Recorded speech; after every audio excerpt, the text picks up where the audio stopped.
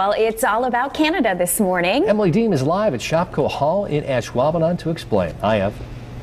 Good morning, Ninja Doug. Hi, everybody. Okay, are you guys thinking of, you know, taking a trip maybe sometime soon? Have you ever thought of, you know, heading to Canada for that vacation? Well, come out here to the All Canada Show. You can learn about fishing, hunting, guided tours, lodges that they have to offer up there. It's such a beautiful place. Well, right now we're actually going to be showing you what a couple of very important people uh, experienced on a hunting trip recently in Canada. Take a look at this musk ox. It's unbelievable. And this is what Norm the Great McCrate bagged in August. He's standing right over there, ladies and gentlemen. And Jennifer Young was with him too, you guys. She is the All Canada president. So first and foremost, Jennifer, this was your first hunt. What was the experience like when it was musk's, musk ox? Well, I thought I'd start with like a really high-end trip for my first hunt, and I found it very exciting. And actually, there's a lot of preparation that goes into it. It's like you plan it and plan it and plan it and plan it, and then, you know, then you just do it, and it's yeah. pretty over pretty quick. And you were taking a lot of the pictures and getting video of the hunt. And Norm, you were actually out there. Well, Norm is actually a Canadian guide. He's also going to be speaking today, but you were with a guide. So how was that for you being with someone who was guiding you? It was completely different. I mean, I've done, I'm very fortunate. I've been in a lot of hunts over, you know, the last 25, 30 years. And uh, it was the first time I went out and someone's telling me to. Usually I'm the one telling the stories and what's this, what's that.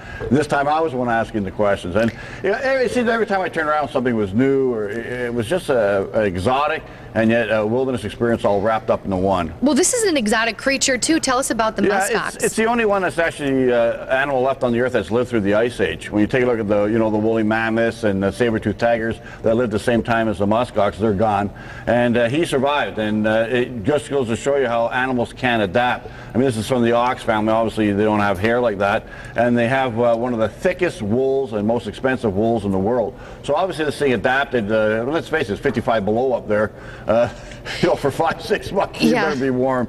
And uh, they did. They survived, and uh, we have them today, and they're in such numbers that they're huntable. Tell us about the lodge you were at where you actually bagged this guy. Yeah, but I mean, there's other countries that offer, you know, hunts around the world. But this one here was not only the highest lodge that you can go to in Canada, it's the highest lodge in the world. Wow. So you can't get any, any higher than that. In fact, when you pull your compass out, everything points south. So nothing's going north. That's how high Gosh. you are. So it's, it, was a, it was a very unique experience. No trees, uh, Uh, no bush, hardly any, anything higher than like six inches. And it was just, just an amazing trip all the way around. Yeah, and you were talking about Jennifer when he actually did shoot it with his bow and then they were ready to dress it in the field, which was two, about two and a half hours to dress it. You were saying the female muskox were actually watching you? Right, I was by the, the, the, animal that he had shot, and then Norm was went back to get his bow and arrow, so I was there by myself, and all the all the muskox were lined up, and they started coming toward me.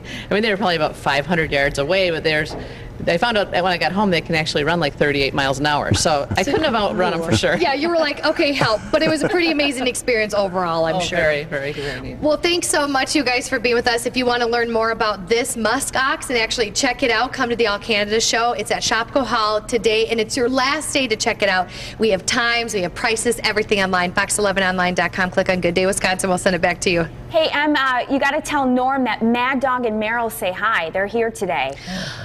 Norm, we got a lot of people that are saying hi to you this morning. Oh. Mad Dog and Merrill are oh. actually in studio and they say hi. So, do you want to say something to them? Uh, it's nice to see you and plank you. That's probably something that they know, you guys. So, everyone's excited to have you all here. So, you guys got to come out, meet Norm out here. He's going to be speaking. Pretty cool stuff. All right. Thanks, Emily. It's all about plank cooking.